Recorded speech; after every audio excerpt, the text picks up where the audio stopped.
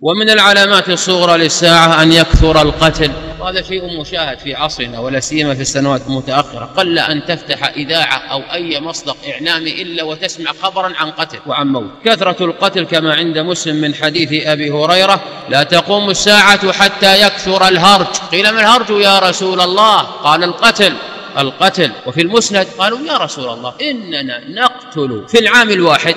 أكثر من سبعين ألفا. فقال عليه الصلاة والسلام ليس بقتلكم المشركين أنتم تقتلون من المشركين سبعين ألفا. هو يحدث أصحابه وإنما يقتل بعضكم بعضا. قالوا يا رسول الله أيقتل بعضنا بعضا؟ ومعنا عقولنا يومئذ؟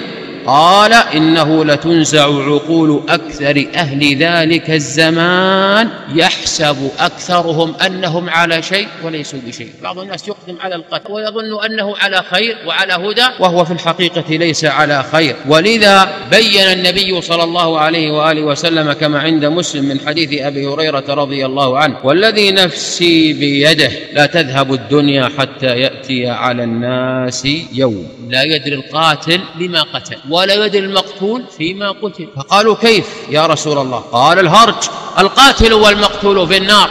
لأنهما لم يقتتلا على خير إنما اقتتلا على فتنة. ولذلك تجدون أن هناك حروبا طاحنة وأن هناك قتلا لا يعرف أسبابه ولا مسبباته